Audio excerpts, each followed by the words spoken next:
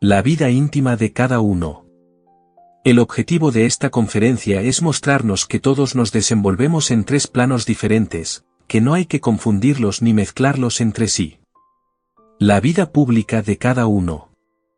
Allí se desenvuelve uno con las demás personas en lo referente al trabajo, oficio, dinero, grupos, gimnasio psicológico, alumnos y en general con todo lo pertinente al mundo exterior. Y por lo tanto se relaciona con el sacrificio por la humanidad. La vida privada de cada uno. En esta parte se desenvuelve lo pertinente a la familia, los padres, hijos, esposa. Por lo tanto esta parte se relaciona con el nacimiento espiritual, con la parte sexual, y con el gimnasio psicológico que implica la relación familiar.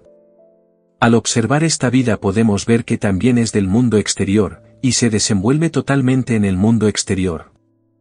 En las distintas cosas de la vida privada de uno y la pareja no deben intervenir otras personas, ni mezclarse los diferentes acontecimientos y problemas de esta parte con la vida pública.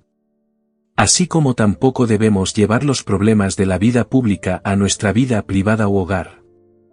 La vida íntima de cada uno. A esta vida le pertenece todo lo relacionado con el mundo interior, las iniciaciones, los grados, los diferentes avances de cada uno, las experiencias internas, las enseñanzas secretas que cada uno de nosotros recibe en el mundo interior, los distintos secretos que nos son revelados, etc., etc. La vida íntima se prostituye, cuando la llevamos a la vida pública y eso es un error muy grave que genera mucho estancamiento.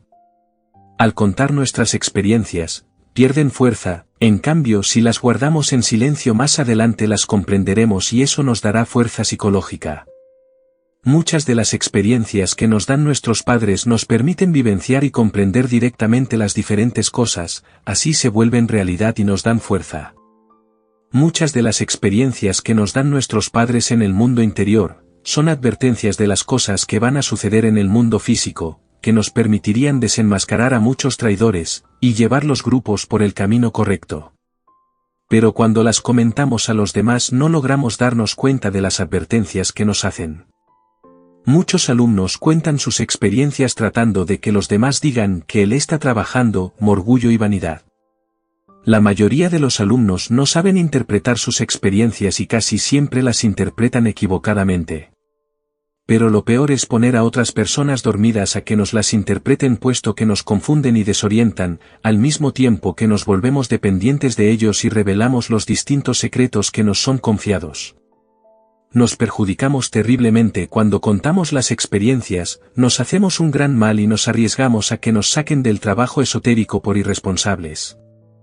Muchos de los compañeros que hoy en día están con nosotros más adelante ya no lo estarán. Recordemos que la envidia es el motor secreto de todo. Muchas experiencias que le contamos a otros, van a hacer que nos estanquemos en el trabajo, por las críticas que éstas generan, por las malas interpretaciones de otros, etc.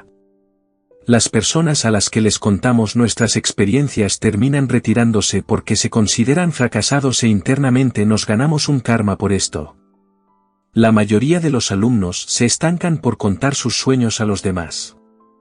Otras personas que conocen y saben que al hombre se le conoce por sus sueños, se dan cuenta y manipulan nuestros defectos psicológicos, al contarles nuestros sueños nos desvestimos ante ellos.